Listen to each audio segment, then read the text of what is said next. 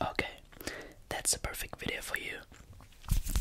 So sit back, relax, and leave a like, smash the like button, and subscribe to the channel if you enjoy. And yeah, let's go. So I got this secret trigger right here for some secret